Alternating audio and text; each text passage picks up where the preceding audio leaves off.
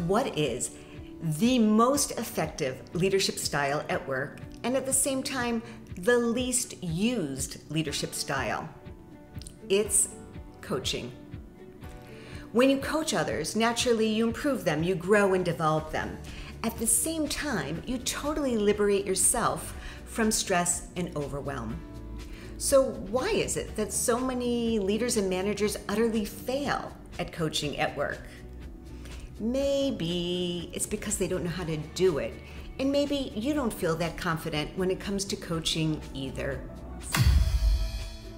To become a great coaching manager at work, first, stop being the savior.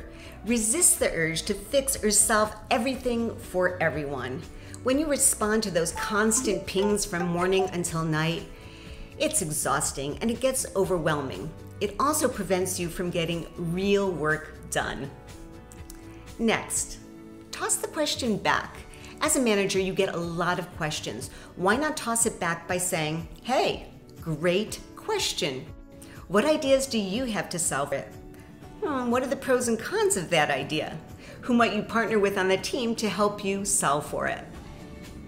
And finally, give more feedback. No, not that kind, the other kind, positive feedback. Positive feedback is motivating, and in fact, research shows that the ideal ratio of positive to negative feedback is about four to one. So when you give more feedback, you'll increase capacity, capability, and you'll improve performance.